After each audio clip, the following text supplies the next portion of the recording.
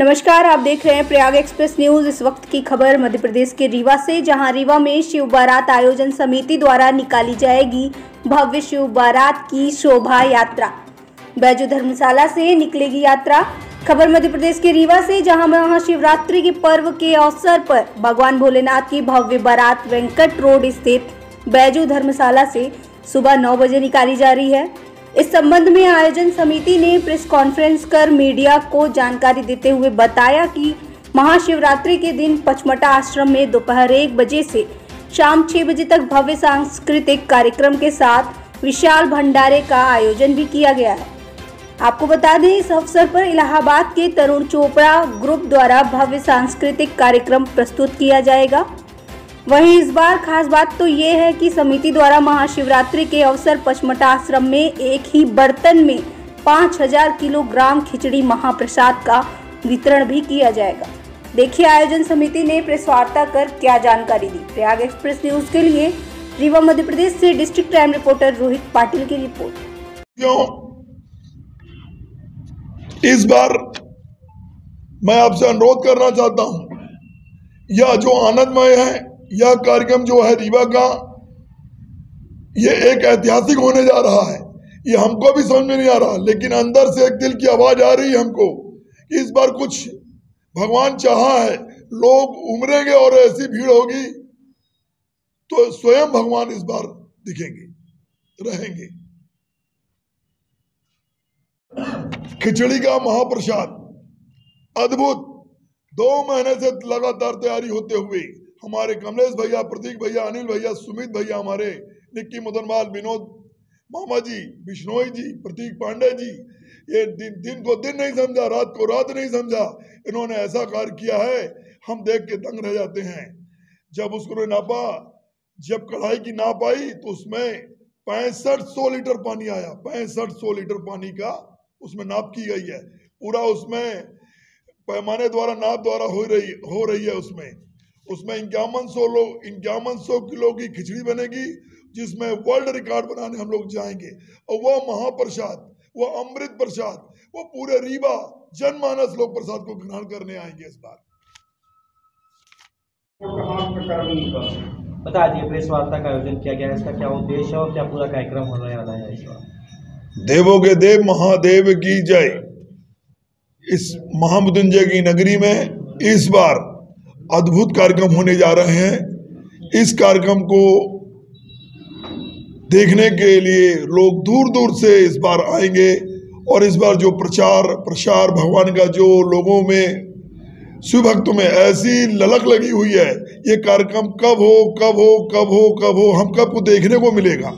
ऐसी ललक लगी है, ऐसी शिव भक्तों की महिमा इस बार होगी। शिव आयोजन कल्याण समिति के द्वारा इस बार बारात का, भंडारे का और एक बार महा रिकॉर्ड इक्यावन सौ किलो खिचड़ी का एक वर्ल्ड रिकॉर्ड बनाने हम लोग जा रहे हैं। पूरी टीम हमारी बनने जा रही है। इस बार भगवान की कृपा से, हमारे पूर्वजों के आशीर्वाद से, इस बार हम लोग बैजू धर्मशाला से, पूरी धूमधाम की तरह से, इस बार उज्जैन से महाकाल एक नए रूप के रूप से आएँगे, नए रूप से आएँगे। और बारात की इस बार जो लंबाई चौड़ाई रहेगी, करीबन एक से डेढ़ किलोमीटर की बारात की लंबाई रहेगी, उसमें विभिन्न तरह के कार्यक्रम होंगे उसमें। उसमें जैसे धर्म का ध्वज रहेगा, ढोल नगाड़े रहेंगे, काशी विश्वनाथ जी की पालकी रहेगी सहनाई रहेगा, ऊँट, घोड़े डंडोडी के कलाकार उज्जैन के महाकाल की पालकी, पचमढ़ा आश्रम के महन जी रहेंगे हमारे स्वामी जी। झंकार धमाल रहेंगे, नित्र काली रहेंगी। अघोरी नित्र आधा बता रहा हूँ, आधा आप जब देखने आएँगे तब आपको आनंद आएगा और देखने का आनंद आएगा। जब मैं पूरा बता दूँगा तो उतना आनंद नहीं आएगा।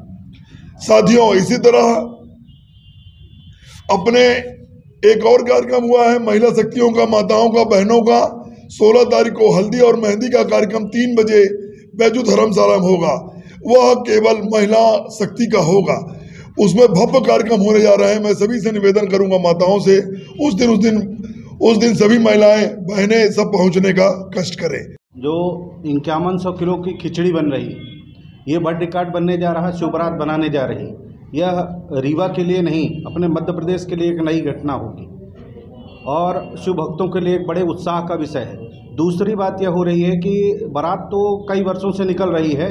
एक नया कार्यक्रम आयोजित किया गया है कि माता पार्वती की हल्दी और चंदन और मेहंदी लेडीज़ संगीत का कार्यक्रम बैजू धर्मशाला में ऐतिहासिक बैजू धर्मशाला में 16 तारीख को तीन बजे से आयोजित है। महिला शक्ति उसमें आमंत्रित हैं। जहाँ तक जो जानकारी मिले हमारी महिलाएँ बहनें वहाँ आ सकती हैं। ये दो हमारे नए कार्यक्रम और जैसा कि अभी बताया गया कि तरुण चोपड़ा ग्रुप के में कलाकार जो आ रहे हैं कानपुर से हैं इलाहाबाद से हैं मुंबई से हैं तो ऐसे कलाकारों के द्वारा वहाँ बारात पहुँचने के बाद सांस्कृतिक कार्यक्रम नृत्य चलते रहेंगे।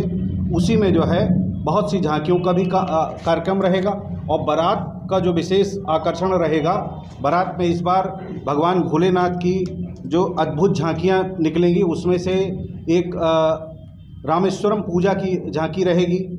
भगवान भोलेनाथ की बारात नंदी में सवार होकर निकलेगी। लंकापति रावण और हनुमान जी का संवाद एक झांकी पर रहेगा। राधा कृष्ण की रासलीला रहेगी और अमरनाथ गुफा में भगवान भोलेनाथ, माता पार्वती को जो ब्रह्म ज्ञान की प्राप्ति कराते हैं, उसकी एक झांकी रहेगी। झांकी में एक देशभक्ति से ओतप्रोत झांकी रहेगी और उसके साथ ही एक झांकी में काली नृत्य है, जो कि काली जी का तांडव नृत्य उसमें होगा। और भगवान भोलेनाथ की बारात एक पैदल भी चलेगी, जो उसके बाराती होंगे, वो पैदल चलेंगे। यह विशेष आकर्षण रहेगा बारात में। और 108 जगह बारात का स्वागत किया जाएगा। लोगों ने अपने अपने नाम लिखाए हैं कि हम यहाँ यहाँ स्वागत करेंगे।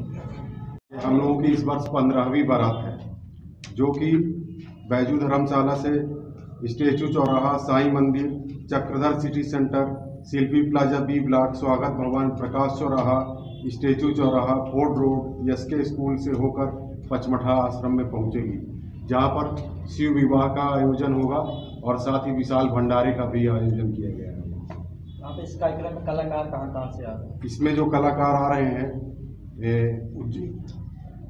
गणेश वंदना जो मेन ग्रुप है तरुण चोपड़ा ग्रुप तरुण चोपड़ा ग्रुप इलाहाबाद। से आ रहा है आ रहे हैं। उसके साथ में बॉम्बे से भी बनारस और बनारस और बॉम्बे से कलाकार आ रहे हैं। है? ये जो हम लोग एशिया रिकॉर्ड की बातें कर रहे हैं ये पूरे देश प्रदेश के लिए गर्व का विषय है। और ये जो इसका कड़ाहा बनकर आया है इसका वज़न है 1200 किलो। ये कड़ाहा दो तीन जगह से सैंपल होकर आया है, कानपुर, आगरा सब जगह से आया है। और इसकी जो साइज़ है वो 10 बाई 10 बाई 6 ये है। और इसके साथ जो इसका चूल्हा बनाया गया है, उसकी साइज़ भी 10 बाई 10 बाई 5 और इसकी हम लोगों ने व्यवस्था कम से कम दो महीने से लगातार हम लोग लगी, पूरी टीम लगी है हमारी।